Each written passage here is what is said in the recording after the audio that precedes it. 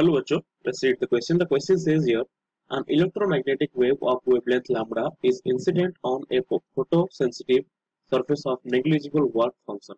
So, if the photoelectrons emitted from this uh, surface have the de Broglie wavelength lambda dash, then what will be the answer? Let's find out. So, as a first step, you could uh, recall Einstein's photoelectric equation. As per the given condition, you could you could uh, neglect the term representing the work function. So now substitute for the kinetic energy in terms of the momentum of the de Broglie wave and then rearrange to get the required expression. Okay. So we are given in the question an electromagnetic wave that has a wavelength of lambda. So this electromagnetic wave is incident on a photosensitive surface that has negligible work function. So we are also said that the emitted photoelectrons have a de Broglie wavelength of lambda dash.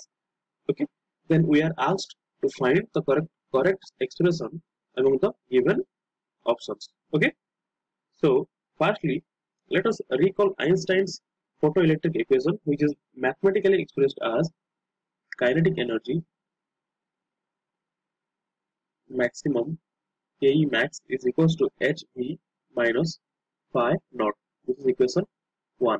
Okay where Ke max is the maximum kinetic energy of the emitted photoelectrons. So H is the Planck's constant, V is the frequency of incident wave and phi naught is the work function of the surface on which the radiation is incident. Okay, but here the surface is known to have negligible work function and also kinetic energy could be given by Ke max would be half mv square. Okay?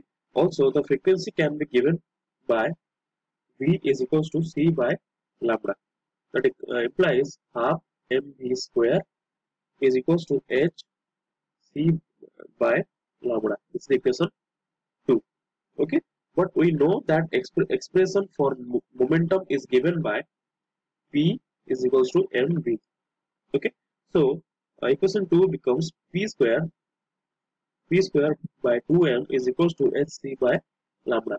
This is equation 3 but we know another expression for the momentum of de Broglie wavelength of wavelength lambda dash as p is equals to h by lambda dash. Okay?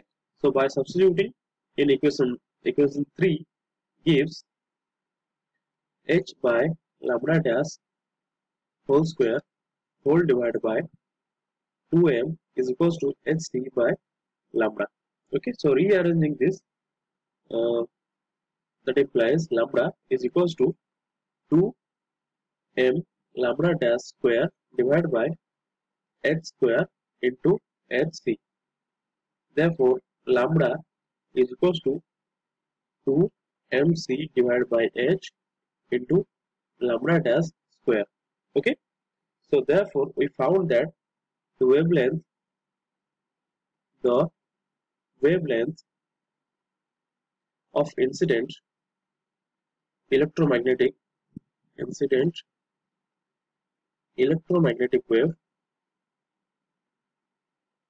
magnetic wave is given by the relation is given by the relation